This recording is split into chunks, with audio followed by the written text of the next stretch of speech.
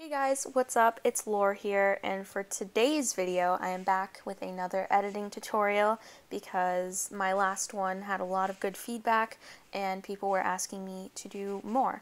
So, for today's tutorial, I know last time I did a basic overview of everything that I normally do when I edit. This one's going to be super quick and super easy. I'm just going to show you how to get a super smooth zoom transition. I'm starting off with two clips. There's nothing much to them, just two clips and they're each about a second long-ish. So what you first want to start by doing is going to the Effects and Presets menu and searching up Motion Tile, and then just putting that on both of your clips. Only change the output width and the output height. I'll just do like 400 for each. That's a pretty good number. And then click Mirror Edges, and then I'll do the same for this clip put motion tile, set both of these to 400.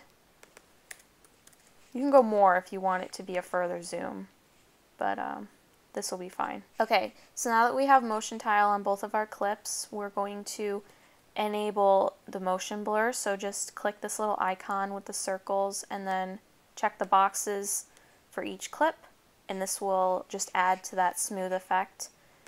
Um, so yeah, Okay, now we're ready to start using keyframes. So for the first clip, I'm going to highlight it and press the letter S on my keyboard.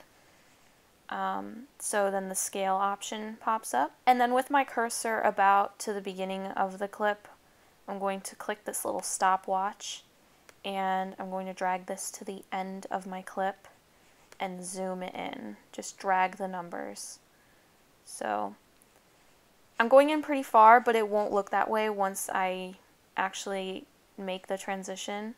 So yeah, it's pretty easy. That's what you do so far. And then to add to the smoothness, to make it way smoother, I take the second keyframe right here and I drag it out one.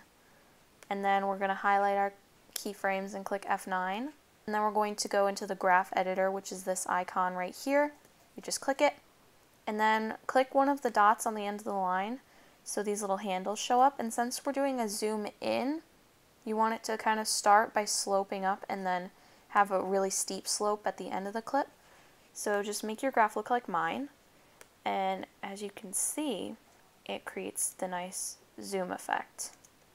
So that's the first half of it. Now we have to do the other half. So I'm clicking the second clip now.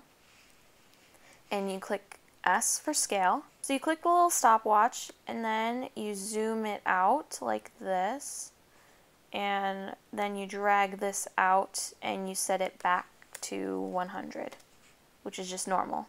Drag the keyframe out one unit further than you did originally and like I said this will just make it way smoother because the keyframes will blend together. So then you click F9 for um, the easy ease thing to enable and then you go into the graph editor. Click the handles and then since we want it to go fast into slow we make the slope really steep here and then have it kind of level off. So just make your graph look like mine. And then as you can see it creates the zoom effect.